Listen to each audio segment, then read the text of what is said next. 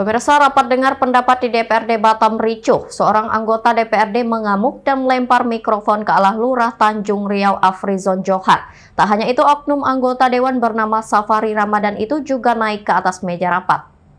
Jangan siap Siap. Enggak begini masyarakat kita. Siap. Saya berdasarkan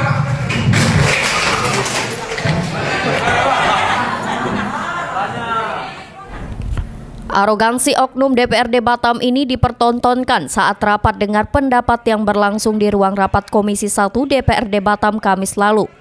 Rapat tersebut membahas terkait polemik pemilihan ketua RW di perumahan Galaxy Park Tanjung Riau Batam. Sejak awal rapat berlangsung cukup memanas.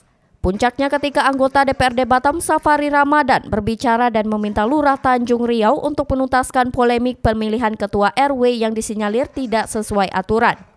Tiba-tiba suara kader Partai Amanat Nasional itu meninggi hingga menggebrak meja rapat.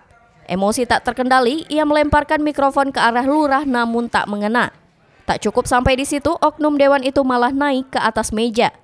Kemarahan oknum dewan ini diduga lantaran kecewa atas kinerja lurah dan camat yang dinilai tidak becus menerapkan aturan hingga terjadi polemik dalam pemilihan ketua RW. Tim Liputan GoTV News melaporkan.